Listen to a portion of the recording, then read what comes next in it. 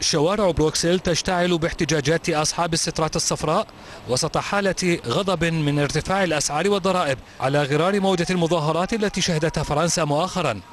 مئات المتظاهرين شاركوا في الاحتجاجات التي تركت حالة من الفوضى المرورية والتي لم تخلو من بعض أعمال العنف. سيارات الشرطة فتحت مدافع المياه على المحتجين الذين حاولوا الاقتراب من المباني والمكاتب الحكومية في وسط بروكسل وبدأوا في إلقاء الحجارة على حواجز الشرطة التي ألقت القبض على نحو 60 شخصا قالت إنهم أخلوا بالنظام العام.